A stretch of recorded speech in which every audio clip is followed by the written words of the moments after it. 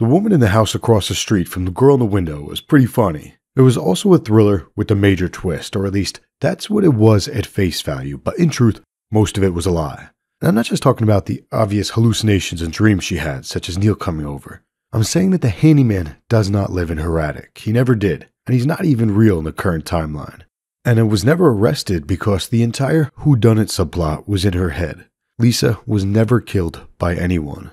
Last but not least, Anna didn't get back together with her ex husband, and they don't have a child. Anna imagined it all, and there's proof.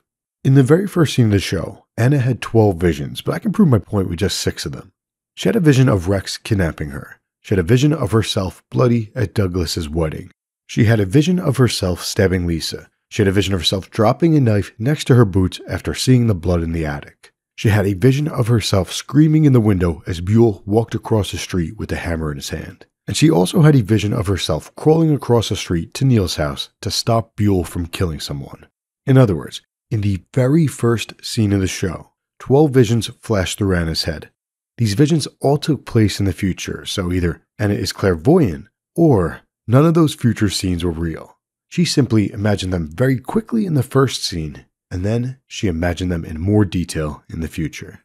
Jesus, Anna, when are you not hallucinating? So it begs the question how much of this story was real? The answer not much. Let's start by analyzing Anna's handyman Buell. Supposedly, Buell has been fixing her mailbox for three years. Obviously, that does not make sense. Buell was outside fixing the mailbox the first time that Anna tried to bring casserole over to Neil, but when it began to rain, he walked away with the mailbox door. Then she fell and the casserole bowl shattered, but Buell was nowhere to be found. Why? Because he wasn't there in the first place. Anna got freaked out by a bird in her attic, so she took some drugs and drank. She then fell asleep and dreamed about her neighbor Neil. The next morning, she went over there, and guess who was outside working on the mailbox again? Her imaginary handyman Buell. When she walked over with another bowl of casserole, the first one was still laying there, another clue that these scenes aren't even real.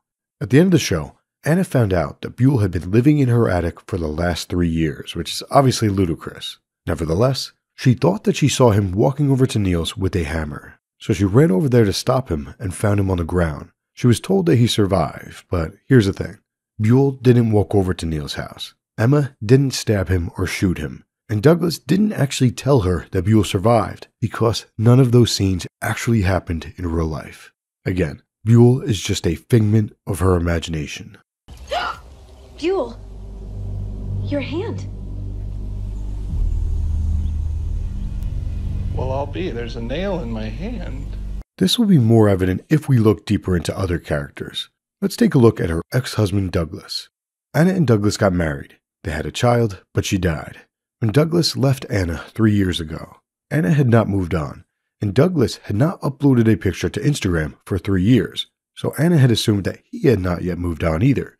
Anna's neighbor Carol set up a double date, but Anna lost track of time in a tubby. She then looked at her phone and noticed that for the first time in three years, her ex husband had uploaded a photo of him and another woman. Anna then imagined him and her getting married, and during their wedding, she ran up to them and killed the woman. But here's the thing in the very first scene, she had a vision of this fake wedding vision. How could she have had a vision of killing a woman before she even knew that woman existed? Because it was all fake. It was all a story that she was telling herself while doing meds and drinking. Speaking of meds, check this out. At the end of the story, it was quote unquote revealed that her ex husband Douglas was her shrink.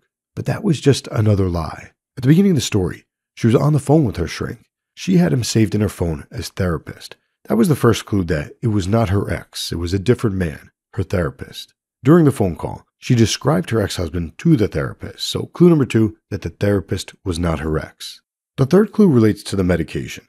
At the end of the season, Douglas said that he had her on a 50 gram dose of a class 4 psychotropic. Think about that a 50 gram dose. Prescription drugs are not given out by the gram, they are given out by the milligram, which is a thousandth of a gram. So basically, None of this actually happened.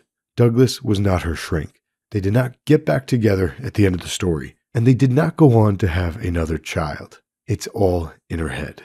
Let's actually take a step back and look at her neighbor, Emma. Supposedly, Emma was jealous that her mother was having a second child, so she booby trapped the dock since her mother could not swim. Her mother walked out and almost fell into the water. Then Emma Hulk stomped the dock to finish the job. Obviously, that's ridiculous. It didn't happen, but let's keep going. Emma did not push her teacher off of the lighthouse. She did not kill her father's girlfriend, Lisa. She did not text her father from his girlfriend's phone so as to leave a false trail. She's just a nine year old kid who lost her mother, nothing more. So Emma did not go to the police station and write a threat on Anna's rear window. She did not sneak into Anna's house and grab one of Anna's scalpels so as to frame her for the murder. Because the murder didn't even happen. No one killed Neil's girlfriend Lisa. She's still alive. She is a flight attendant who wears a red scarf, and Anna mistook that scarf for blood. The entire subplot of Anna getting arrested by the cops was fake, and the entire plot about Anna crawling across the street to stop a murder was fake. Emma did not try to kill Buell because, as we already went over, Buell is just a figment of Anna's imagination. Emma did not kill her father since he was a bad ventriloquist. That's just silly. She did not try to kill Anna, and she was not killed by Anna. None of that happened. Anna does meds, she drinks, and she dreams. That's it. But that's not to say that everything was fake. So, what really happened? Anna and Douglas Whitaker got married, and they had a child named Elizabeth. Hi, you've Whitaker residence. Unfortunately, Anna's daughter died.